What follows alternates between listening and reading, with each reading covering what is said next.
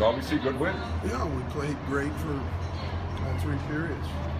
Played physical, played hard, we won battles. All the stuff we were hoping to do last night, we did tonight, and uh, obviously we got exactly the result we were after. Nolan Vesey, I mean, he's been, you know, second half of the year, he's just been coming on.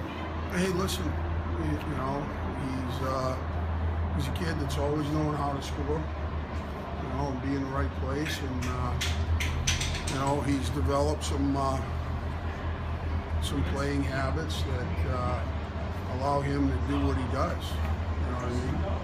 So that's important. But uh, full marks to Nolan for working hard. It hasn't been easy for him. You know, he's had some days where, you know, uh, I've been tough on him. That's how it is. But obviously he's responded and he's having a decent freshman year.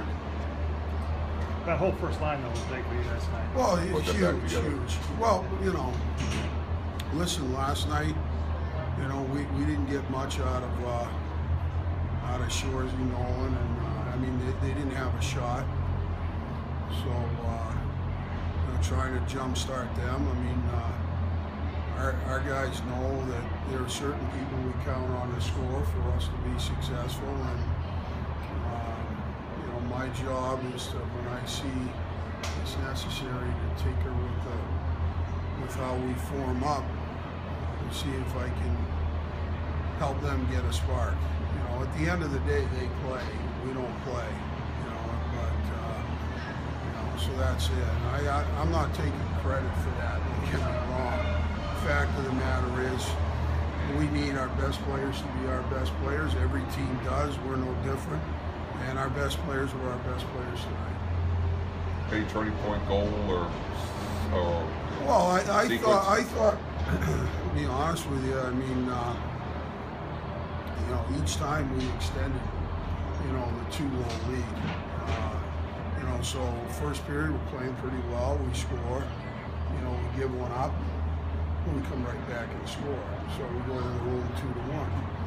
Second period we score, extend the lead. They get one. Oh, we get another one. We go into the room. It's four to two you know, third period, we started by by getting the fifth one, which made it a little bit easier, you know. So that that's the sort of stuff. I mean, I wouldn't say any one of them is necessarily a turning point, because at the end of the day, any number of things can be a turning point. You know, I, I think the turning point, to be perfectly honest with you, was the attitude and intensity that our team came out with to play today. That was the turning point. That's what that's what made the difference in the game. You know, so that's how I feel. he went back with Matt Morris and came through? Matt didn't play poorly last night. He wasn't taken out of the game because he played poorly.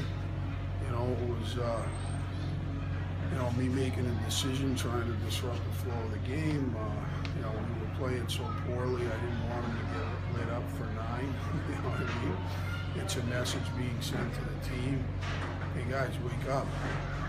You just had to, you know, take out the goalie because of how sloppily, you know, you guys were playing. So that's that's pretty much it. Thanks.